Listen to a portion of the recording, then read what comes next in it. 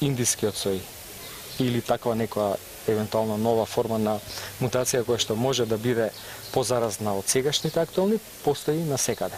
Но што е многу битно, дека буквално сите вакцини штитат од тешка форма на болеста или од смртен исход, дури и од таква мутирана форма на вирусот.